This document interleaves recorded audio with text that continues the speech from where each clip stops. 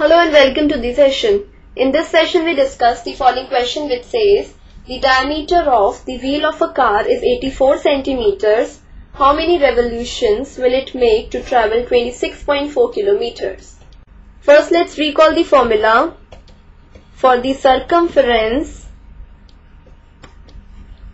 of a circle this is equal to 2 pi r where r is the radius of the circle.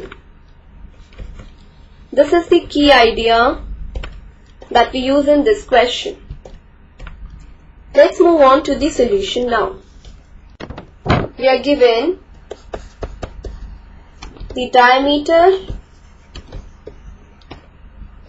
of the wheel is equal to 84 centimeters so therefore, the radius of the wheel is equal to 84 upon 2 centimeters which is equal to 42 centimeters. Now, the circumference of the wheel is equal to 2 pi r that is equal to 2 into 22 upon 7 that is the value for pi into r that is the radius of the wheel which is 42 centimeters is the circumference of the wheel. Now 7 6 times is 42 so this is equal to 264 centimeters is the circumference of the wheel. Now the distance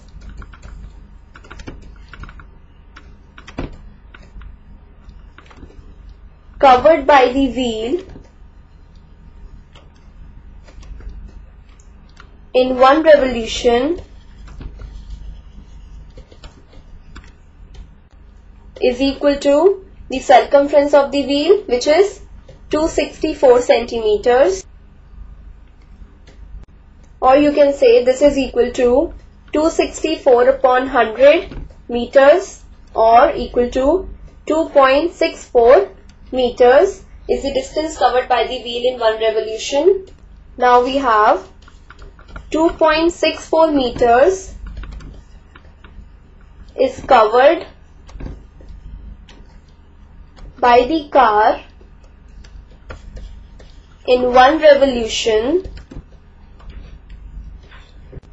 So therefore 26.4 kilometers which is equal to 26400 meters is covered by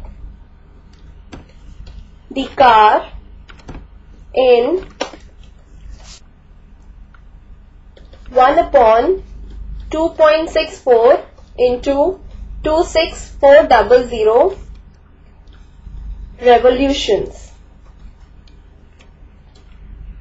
That is this is equal to 26400 into 100 upon 264 now 264 100 times is 26400 so this is equal to 100 into 100 equal to 10000 revolutions so thus we have the required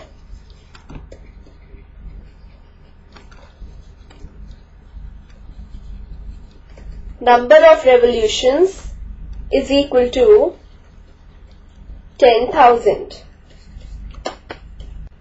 So 10,000 is our final answer. This completes the session. Hope you have understood the solution for this question.